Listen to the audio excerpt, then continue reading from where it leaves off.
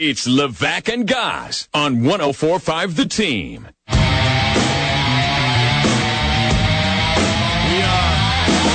yeah, we're pretty we're pretty lucky these days. You, you Siena folk, uh, you, you're you're more than happy to come in and talk to us a little bit more. I, I, I like this. Join us right now, Greg Manning and and Jordan Horn.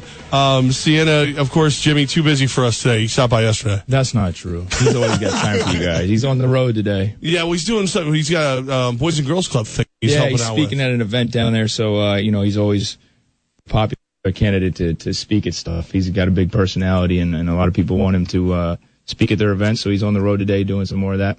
So, Greg, um, obviously, wish we were talking after uh, better results from last night's game. Dunk City comes in. Um, they they w- what were they able to do? Why were they able to be so successful against you guys? Yeah, they're a really good team to start. Uh, I heard you guys talking a few minutes ago before we got here about our schedule and how tough it is. And these teams that we're starting out with are are teams that are picked to win their league. And obviously, Florida Gulf Coast went to the NCAA tournament last year. Um, they're picked first in the ASUN this year. They got the preseason player of the year in Goodwin. Uh, so we knew that coming in that they were going to be really good and a tough challenge. So I think uh, down the stretch it was a close game with about 12 minutes to go in the second half, and then their experience, um, guys that have played there for three, four years, that have been in big games like that, uh, that have played in front of crowds like we get at the Times Union Center, uh, just kind of helped them pull away with it. Uh, we have a lot of young guys that are learning. That was their first game at the Times Union Center, so um, I think as we go on throughout the season, we'll get better, and, then you got to find a way to win those type of games. It's that last part right there. Young guys learning and getting better. It's something that Levack and I felt through you guys, whether it's talking to Coach Patsos and others, then yeah, the result may not go in the direction you had hoped, but this can only be a positive going forward for the rest of the season. Does it feel like that with both your team and all some of your players right now? Sure, absolutely. Um, you know, we got to get better as the year goes on. What really matters at this level is, is the MAAC um, and competing for, for a championship uh, during the regular season in the MAAC, and then obviously the conference tournament, which is, is always here. It has been for the last couple of years at the Times Union Center. So uh, we have to get these young guys to mesh with our, our experienced guys and be ready to go by the time the MAAC comes around and have our lineup set and have them comfortable uh, in which in positions that they're in. So obviously we want to win as many games as we can early. Um, for the fans and for ourselves and confidence, but it really, uh, what really matters is the MAAC. And I, Jordan Horn's here, one of our freshmen who, um, who's done a great job. He played really well in Canada this summer for us. Um, and we're relying on him to play a lot of minutes, so he's learning as it goes, so he can kind of talk on it too. Yeah, Jordan, welcome, welcome. This is uh, your first time they've they've been brave enough to send a player in, so you must be a tough guy. I am, I am, yes. Jordan, so what what's it been like?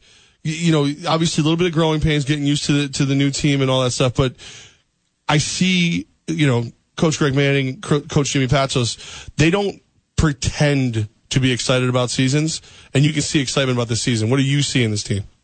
Oh, I can definitely see excitement by coaches and the team. The team, like that first game at Charleston, everybody was pumped up. They were they were sick of practicing against each other every single day for months at a time, and it was good to finally compete against somebody else. And uh, unfortunately, we lost, but we're still learning from that, and uh, we're still excited to play the next game and the next I want to go back into the season in a second. I want to figure out how in the world the dude from Minnesota and out in Canada, how in the world did you end up in Albany, man? His Vikings are doing well, right? You guys, right. That's well, yeah, right. No, yeah, good. We are. Patsos said we better be talking about the Vikings when you come in. Yeah, So we'll, we'll get, get to we'll get to your Vikings in a second. How did you end up? How did the recruiting process go and you end up being a Saint? Um, uh, one of the assistants, Coach Abe Woldeslassie, uh, he came, he reached out to me, uh, in about October, I believe, of my senior year. And, uh, he kind of, he told me he was interested. And then I talked to Patsos a little bit. And then, uh, Abe came out to see me play. And then I got to talk to Patsos a little bit. And, uh, Santa was the place to be. I came out on my visit and I loved it. So Abe just happened to be from Minnesota. So it just worked out that way.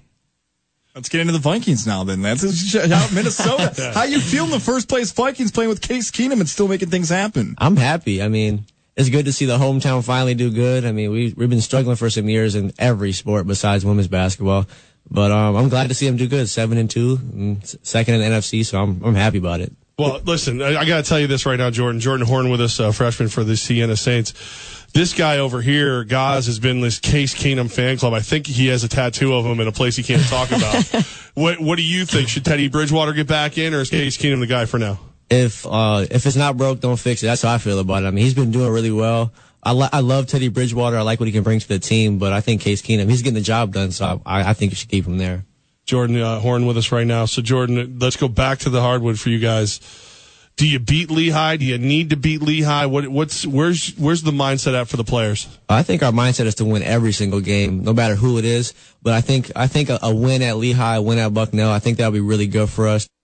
Uh, we came off two really bad losses, so really get our confidence up, and we know that we can compete with anybody. So those those that those two wins on the road will be really huge for us. And then come home to face Hofstra, and that's I think the biggest thing. Like the the Times Union Center. How how cool is it to play there as as a freshman for Siena? Like if you get enough of you crazy Siena kids running around that place, how how how much can that help you get those wins? It was crazy. For the first game on a Monday night, it was ridiculous to see all those people come out, the students and the alumni and all the, the other people who came out to, to see us. And for me, being a freshman and playing in such a big crowd, my first collegiate game was home game at least was really great. I loved it what are your individual goals? As it is your freshman season, what are you trying to do now from November all the way to March that you think can make you a better player?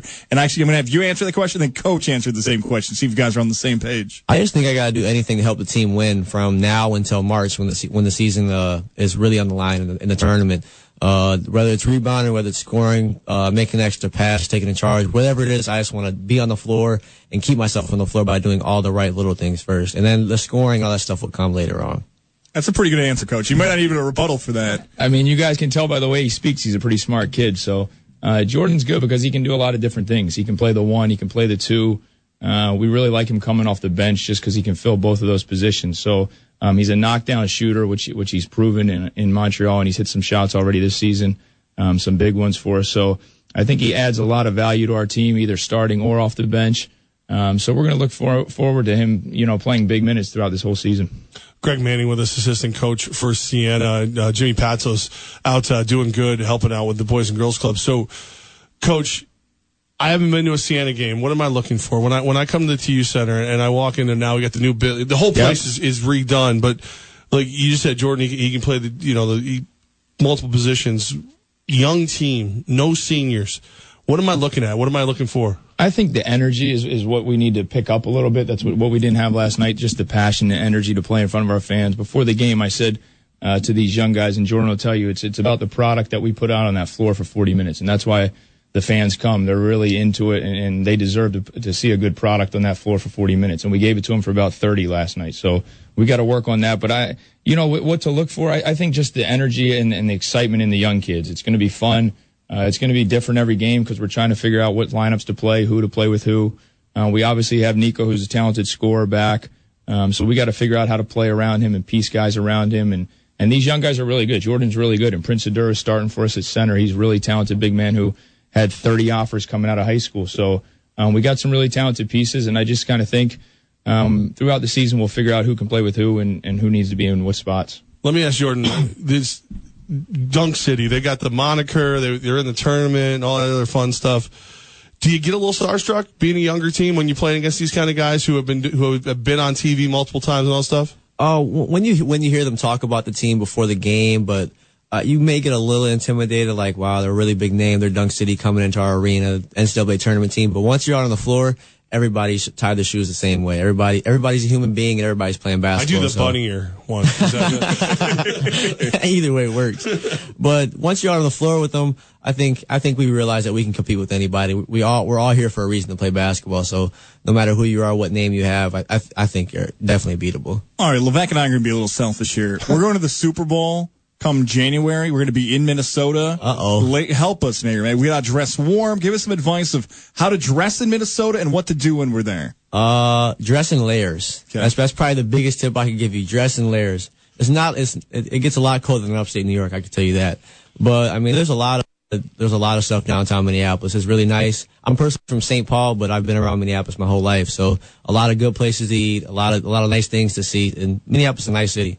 So, so Dressler, you said it gets way colder a, lo- a lot colder.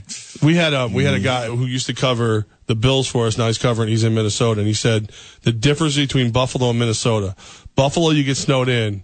Minnesota, your eyeballs will shatter from the cold. Exactly. I, oh no! exactly. I told I, I told Greg coming in here. Uh, we are in the car. We were talking. He was telling me like, uh, how cold does it get like colder here than it does uh, back home? And I said, uh, you guys get a lot more snow, but I mean, you're gonna walk outside, your face is gonna start hurting. That's how cold it gets in Minnesota. Jordan Horn might be the only person that Ian has ever recruited that we were like, winter's not that bad. It's not. It's not. I can imagine Jordan showing up. That's why he came here, really. He's not telling you the truth, but that's why he came here. Your teammates from Maryland, they're gonna be like all bundled up. You're gonna be rocking shorts in January and just mocking them. Dude, like, dude, no, like it's fine right now in upstate. Yeah, I know. They- They're all telling me about that. Like, you're, you're probably gonna get sick when the weather changes. I'm like, nah, I'll be all right. I'm used, I'm used to it. I'll be okay.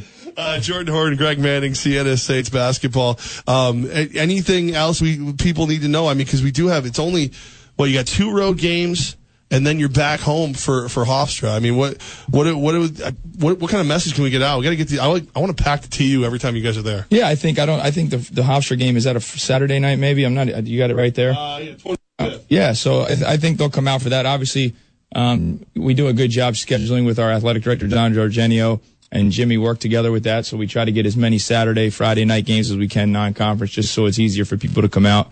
Um, so I hope they stick with us. Like like I said, it's going to be a work in progress um, until we get to that MAAC season. Um, so I hope they come out and support us. And and these are some really good teams that are coming in here to play us. So we try to get good teams to come in for the fans in Florida Gulf Coast and Hofstras and.